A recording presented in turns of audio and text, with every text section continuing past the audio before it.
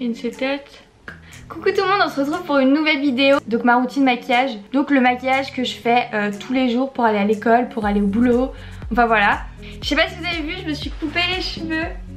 Regardez, ils me vont ici. Oh là là, j'ai coupé au moins 5-6 cm. Enfin bref, euh, on s'en fout. Mais voilà, je voulais vous dire que je m'étais coupé les cheveux. Euh, C'est parti.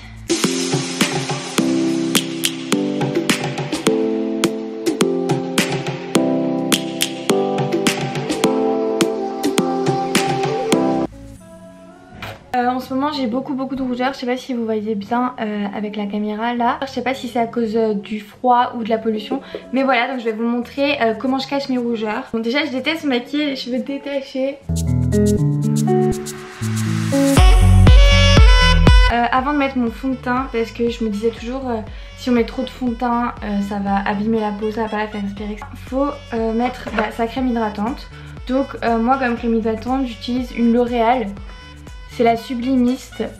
Je sais plus ce que c'est, c'est raffermissant je crois et repulpant. Voilà, donc je mets cette crème hydratante. Sous mes cernes, je mets une crème aussi. Ça s'appelle Sève de bambou. C'est chez Herborian. Et en fait c'est pour hydrater le contour de l'œil, donc c'est pour avoir un peu moins de poche. Pour ne pas avoir de rides plus tard. Donc faut bien masser autour de l'œil.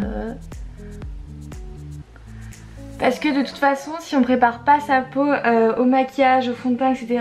Après on a une peau encore pire en se démaquillant. Vous allez peut-être vous dire ouais mais beaucoup de choses sur sa peau. Mais je préfère préparer ma peau à un fond de teint que euh, d'après avoir la peau toute, tout abîmée à force de mettre du fond de teint sans rien mettre en dessous.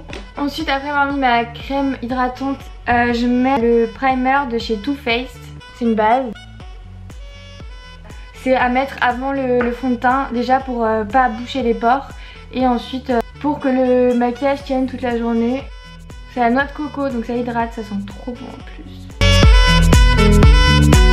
En fond de teint, j'utilise le Born This Way de Too Faced.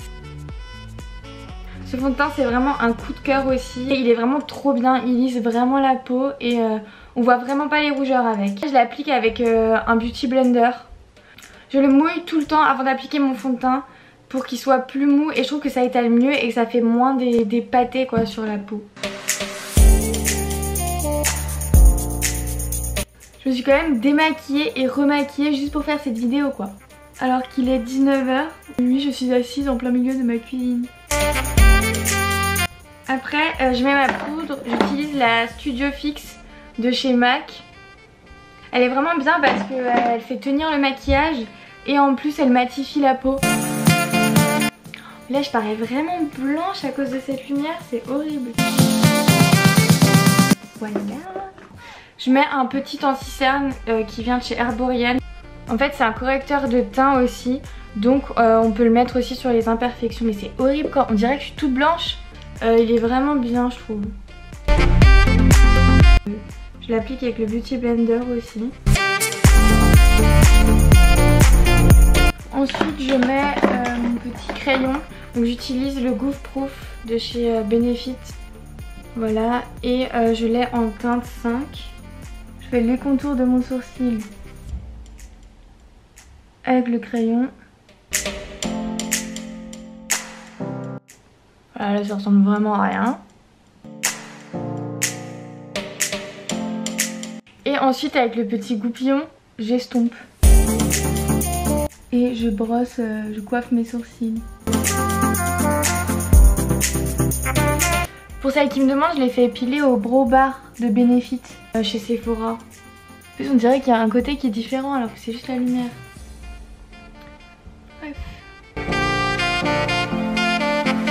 Ensuite, je mets mon mascara. J'ai le Perversion de chez Urban Decay.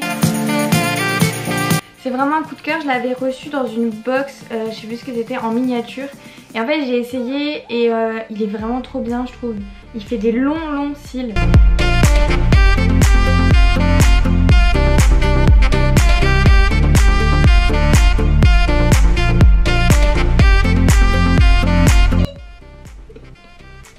C'est la journée qui se finit, la journée été longue. Euh, j'ai fait mes petites touches finales, donc je mets un peu de fard à joues. J'ai un fard à joues en crème en fait, un blush euh, en crème. C'est le Blush Me Tender de My Little Beauty. En fait c'est une box que je reçois tous les mois, la box My Little Beauty. Et du coup il y avait ce petit euh, blush dans la boîte. Et je trouve ça vraiment trop cool parce que j'en mets juste un peu. Et directement ça donne des couleurs. Je le mets avec mon Beauty Blender aussi. Hein.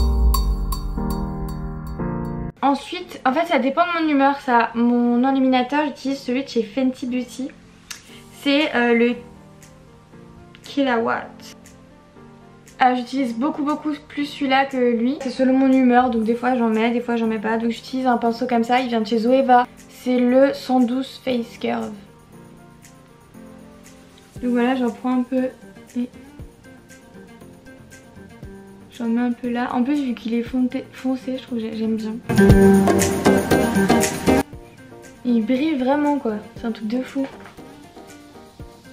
Et j'en mets un peu sur le nez. Et en dernier, je mets un peu de bronzer. Donc moi, j'ai la palette Cheap Parade de chez Benefit.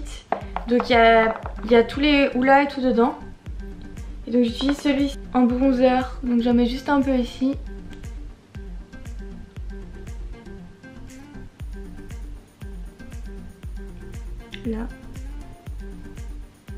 Et ici en haut.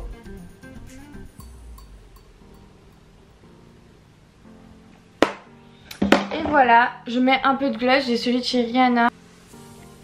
Et sinon je mets juste des fois du, du baume à lèvres voilà. Je mets pas de rouge à lèvres forcément.